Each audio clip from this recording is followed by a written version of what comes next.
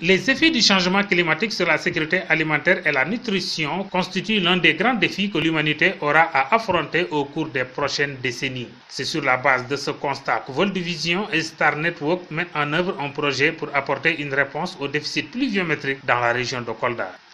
Alors, il allait de soi que euh, lorsqu'il est question de toucher les populations les plus vulnérables, qui est le mandat de vision mondiale, notamment les enfants, que nous soyons concernés et que nous puissions appuyer le gouvernement euh, dans ses efforts pour pouvoir, euh, n'est-ce pas, apporter un bien-être à ces populations.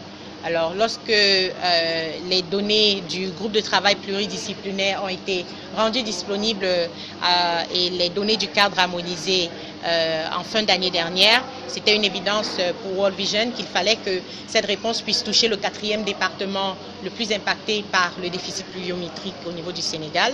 Et donc, c'était vraiment une évidence pour World Vision d'être à Kolda auprès des populations que nous avons toujours soutenues depuis ces nombreuses années financé par African Risk Capacity, plus de 25 000 ménages vulnérables du Fouladou vont bénéficier d'une assistance. Le projet que le gouverneur a bien voulu euh, lancer euh, ce matin avec nous va, toucher 25 607 ménages euh, dans trois départements de Kolda, de la région de Kolda, donc à Medina Yeroufula, à Velingara et à Kolda.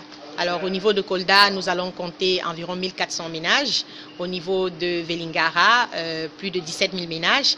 Et au niveau de Medina Yorfula, 6 800 ménages environ que nous allons toucher. Pour le secrétariat exécutif du Conseil national de sécurité alimentaire, partenaire de Vol Vision, ce projet s'inscrit en droite ligne avec les objectifs de l'État du Sénégal en matière de sécurité alimentaire. Ce projet vient à son heure et s'inscrit dans la dynamique des actions de l'État d'apporter de l'assistance aux populations les plus vulnérables. Les services techniques de l'État au niveau décentralisé, les travaux du GTP, le cadre harmonisé, l'ensemble de ces cadres de partage d'informations ont classé les trois départements de Kolda en phase soudure en situation de crise. Ça veut dire quoi? Il y a des ménages qui sont dans une posture si on ne les aide pas, on tend vers des situations peut-être indésirables. Le coût du projet est de 1 739 000 dollars. Il est mis en œuvre par six ONG membres du réseau STAR. Son lancement a fait l'objet d'une cérémonie présidée par le gouverneur de la région de Kolda.